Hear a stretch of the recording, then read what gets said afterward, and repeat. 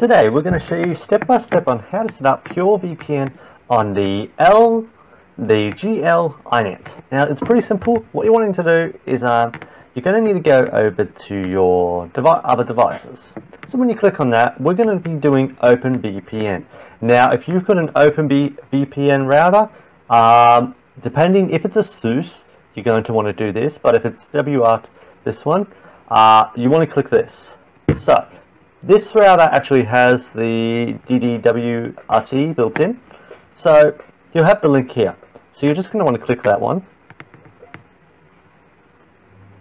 And it'll just do this. So you just hit that and it'll start downloading. So that started downloading. So now we will go over to our router and we'll show you what to do next. So we're over on the router. Now this now, if you want to do this, this I highly recommend it. This is about $19 US. Yeah, this is extremely cheap. So, to set up the VPN, there's two things you need to muck with. One, turn that on, and make sure the switch is on.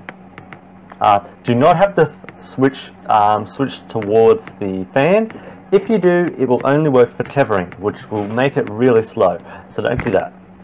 Number two is you're going to need to turn your um, DNS off. So we'll do that now. DNS, Make sure these boxes are ticked off. If you have them ticked on, the VPN will run that slow you won't even be able to look up anything. Then just click on the Open VPN option.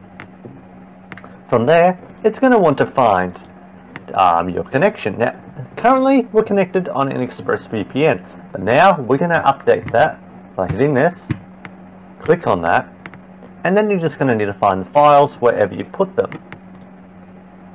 So these are the files right here. So we'll open them up. Now this will process every single file with the service. If you don't want to do that, pull out certain um, files that you don't want to be in here because you'll get the whole file. As you see, we're going to have to log in now. So we'll quickly log in and we'll be back.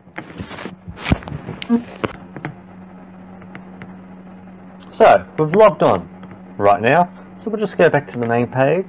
As you see, it'll have the ExpressVPN as well as you're going to have every single VPN with this service. So, depending on what you're wanting to connect to, we're going to just connect to an Australian uh, VPN. So we'll just go to Sydney 1, and then we're going to connect to it. And as you see, we are connected. So now we have the VPN, which is fine. So as you see, it's all good. It's all set up, and yeah.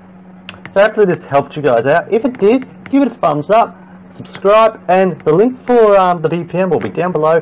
Uh, there'll be all different links for certain um, meaning if you want it for streaming like uh, getting live TV abroad uh, you want it for security privacy and much more. We have the links right down below. So hopefully um, you like it subscribe to the VPN if you really would like to um, test it out.